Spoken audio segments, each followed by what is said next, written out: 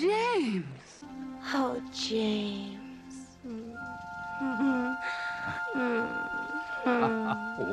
We all know the classic endings to a Bond film. Bond has just saved the day, defeated the villain, got the girl, followed by a signature, oh James, or a grumpy 007. To me, this is what left you with a huge smile on your face, like the cherry on the cake after a classic Bond adventure. Some may find it cringeworthy, others love it. I fall in the latter. I think it's a real shame we never got to see Daniel Craig's Bond getting the girl on some floatable dinghy like in the old days, having saved the day, getting some, winking to the audience. I mean, can you even imagine that stuff nowadays? With Craig, it always needed to be moody, walking off into the dark distance, dropping the necklace of his loved one, with a dramatic, I never left or driving off into the distance with his new love, or being blasted to pieces. It always needed to be different. I really hope they bring back a classic Bond ending in the future, but I think that's too much to ask in these days. In any case, today we are celebrating the way Bond films concluded as we are looking at my top 10 favorite Bond endings, starting with my honorable mention. Though The Man with the Golden Guns ending is very run of the mill, with Bond having just defeated the villain, disposed of the henchman, saved the day with a beautiful girl in his bed, and the joke of M trying to get in touch with Bond and Goodnight. Bond. Bond, are you there? Good night. She's just coming, sir. Good night. Good night. Good night. Good night, sir. But what makes it the honorable mention to me is Lulu's alternate version of the title song ending the film. No need to fear. James Bond is here.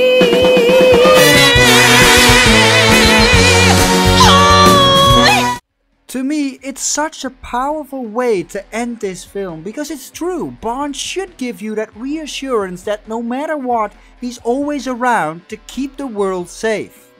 The ending absolutely taking away that reassurance is No Time to Die's ending, the worst Bond ending by a milestone. Killing off Bond in the end still holds up as the biggest sin the movie makers ever made because this is the exact opposite of what I think any self-respecting Bond fan wanted to see.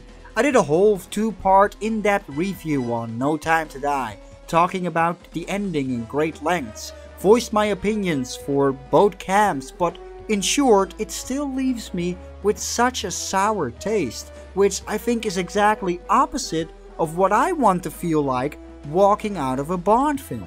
Of course, the real ending of the film is with Madeleine and Bond's daughter talking about Bond almost in the shape of a legend, followed by the driving into the tunnel to Matera, ending with Louis Armstrong's classic We Have All the Time in the World.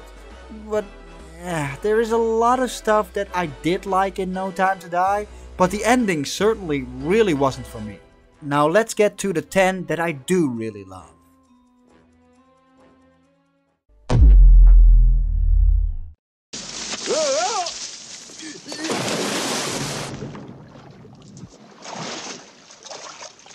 M sent you.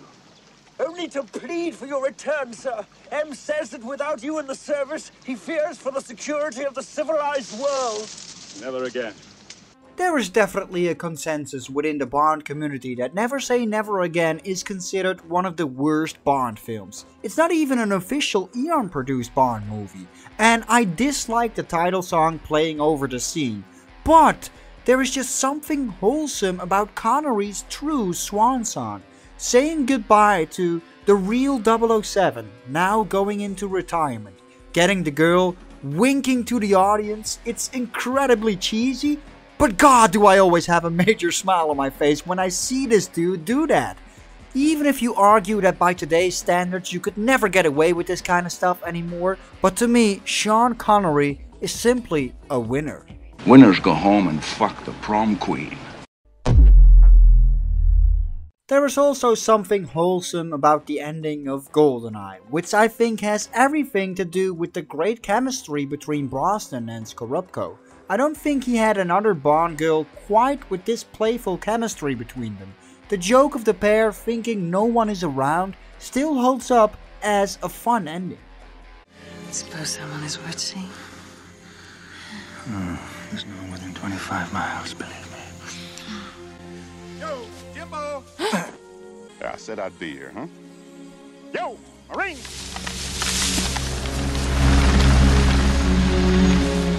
It's all just good fun.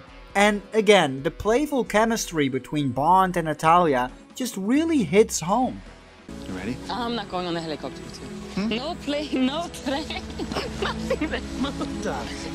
What could possibly go wrong, eh? The day is saved, jokes are made, the smiling of the pair seems really genuine, and it honestly just leaves you doing exactly the same, having just witnessed a fantastic Bond film. My only complaint is the song playing over the end credits, where I feel they really could have picked pretty much everything else to conclude the movie with. But other than that, a fun ending to a solid Bond film.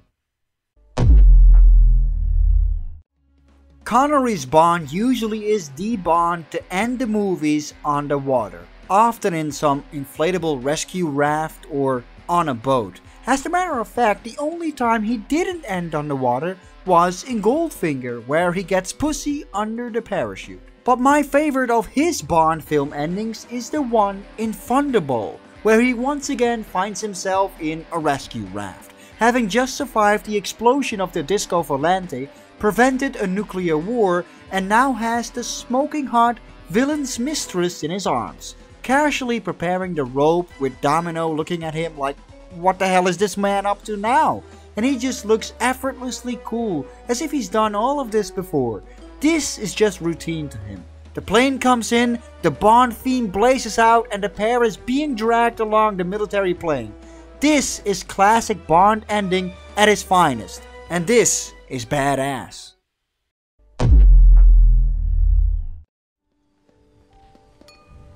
Always wanted to have Christmas in Turkey. Is that a Christmas joke? For me? No. We all know the reason the Bond girl in the world is not enough was even cold Christmas to begin with is so that Bond could throw this cheesy line at her.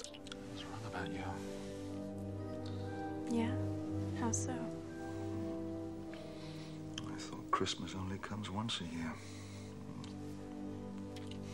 But the reason I really like the ending of this film so much is because of this moment. The MI6 staff is zooming in through satellite images, figuring out the whereabouts of Bond after a nuclear submarine climax. They spot his DB5 through the satellite. They know where he is. Then we get this moment. It's getting redder.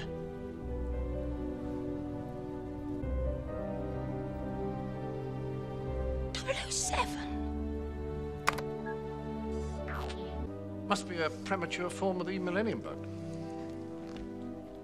It's a great throwback to the classic Bond endings, and I absolutely loved it. This was 1999, a time I remember well, and a time where you could still get away with stuff like that. I mean, this is the type of cheesiness that is just so much fun. And honestly, had you been in Bond's position, would you not totally crack that Christmas joke out too? You just gotta do it. Some may argue the ending to License to Kill is very quick in tying the story up. Felix Leiter is all cheery like, yeah the wife got killed, last lag too, but hey, did I tell you I'm having french fries tonight? But I do think there is actually a lot going for this ending. It's celebrated at Sanchez's mansion for one. Throughout the movie there is a subtle but clever subplot of Lupe trying to provoke Pam into jealousy. Her female instinct is right on the mark. She knows that Pam likes Bond. The girl is a lot more manipulative towards men than she lets on, using her Latina looks to get men to do exactly what she wants. And she succeeds in getting Pam over the edge multiple times. There's also a deleted scene engaging this dynamic further, with Pam asking Bond who Lupe is, expressing the jealousy that Lupe is triggering. She's even checking if Pam is watching when she deliberately starts kissing Bond in front of her, and she does trigger the desired reaction. Bond finally notices what is up, realizes he's been through a lot more with Pam, makes the choice to go for her, jumps into the pool, and the pair make out. Granted, it's far from correct, some women probably wouldn't have taken this from a man, but somehow it's heartwarming and it's right. And unlike GoldenEye, I think Patti LaBelle's song over the end credits starting here is so suitable and romantic and also adds as a fitting song that never fails to get me reflecting on this amazing film with a smile. I don't even care about the fish winking, it never bothered me. This was the ending to the classic era of Bond films, and the emotional song playing over the credits really just adds to that sentiment.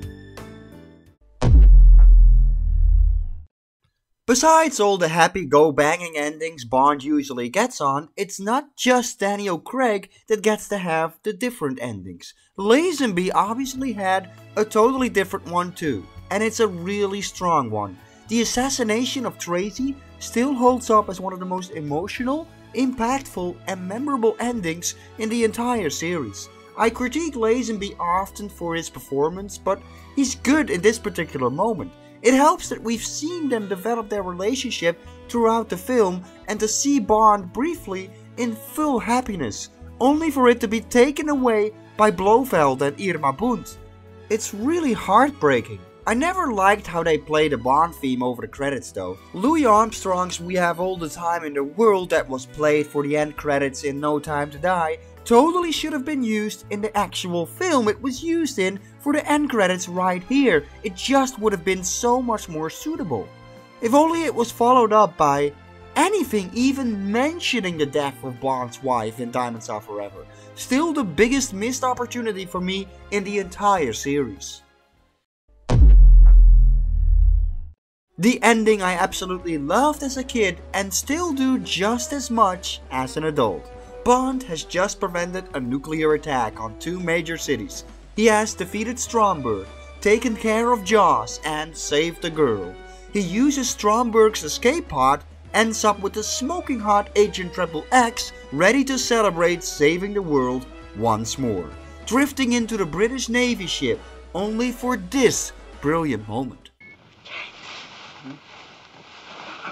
007. Triple X. Bond, what do you think you're doing?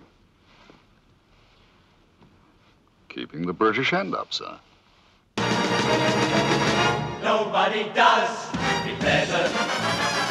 Makes me feel sad for the rest. Even if you find this cheesy, you have to admit, had this been your fantasy as a man, you have just saved the world. You're with a beautiful woman on your side. You're the winner. Would you really have done this any other way? Would you have said, oh, oh, sorry, how unprofessional of me. Please don't report me for inappropriate behavior? Of course not, you've saved the world. You're the man. Time for consensual intercourse. I don't care, standards have changed. This is the fantasy, and this is what James Bond is all about. Nobody does it half as good as you. Baby, you're the best. Another example of a Bond ending in this exact same fashion is the ending of Moonraker, which though cheesy, I've never been able to not grin from ear to ear with. Bond has prevented the extinction of the human race in outer space. M, the British Minister of Defense, and Q are all gathered with NASA ready to talk to Bond who's just saved the world. The footage is about to be directly broadcasted to the White House and Buckingham Palace. When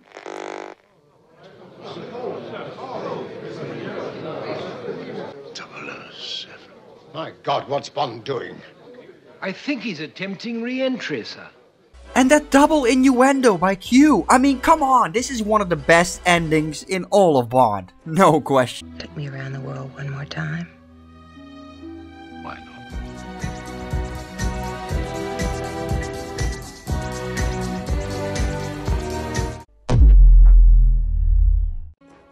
Even though I pretty much did a non-stop praising of Bond celebrating with the Bond girls after saving the world, I have to admit there are different endings I really, really enjoy. And I don't think that any Bond fan can deny that Casino Royale has one of the best ones ever conceived.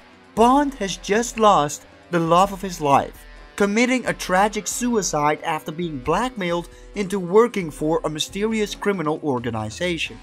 Bond has just managed to track down one of the members of this group when... Mr. White, we need to talk. Who is this?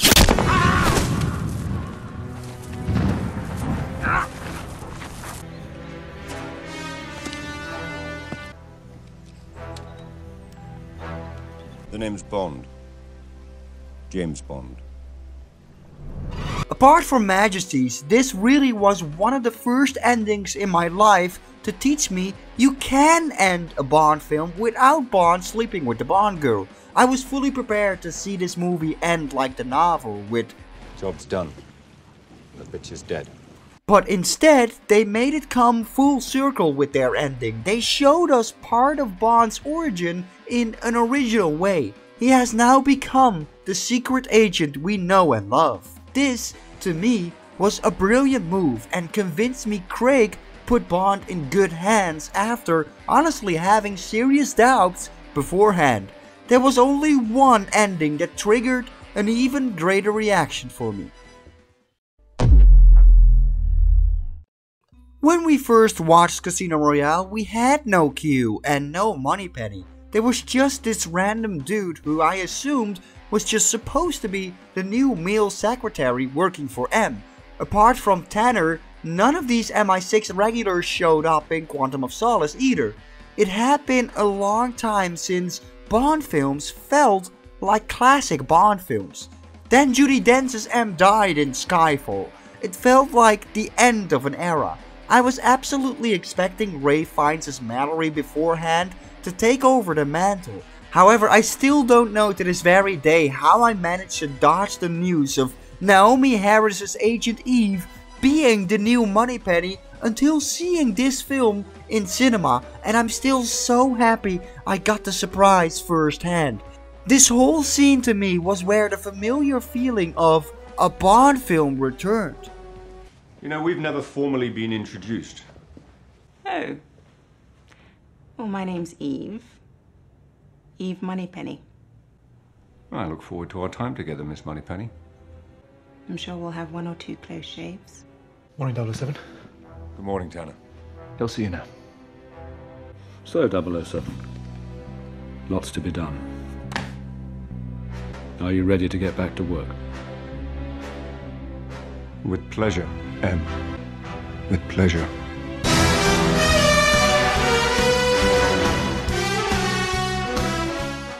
This whole scene left me in a standing ovation in cinema, something I've never done in theater before and never done since. What a fantastic conclusion to an amazing Bond film. We finally have a Q again. Now it was revealed to be Moneypenny all along. We not only have to fantasize Bond and Moneypenny have history, we've seen it during the film. Now for the first time since the 80s, there was a male M again. Bond standing in that classic MI6 office with the classic leather door, another feature not seen since the old days. Bond receiving his next mission, obeying the new M, calling him Sir. All of this blending into the gun barrel and the 50 year anniversary logo. To me, this was the last time Bond was celebrated at an all-time high. Skyfall's ending was pure class. It's been a while since I did a Ranking 007 episode, so if you enjoyed this one, please like and subscribe and check out the Ranking 007 playlist for the other ranking episodes I made so far. Or check out my channel for a lot more Bond content. And if you want to go the extra mile in supporting the channel, please take a look at my Patreon page too. See you guys in the next video.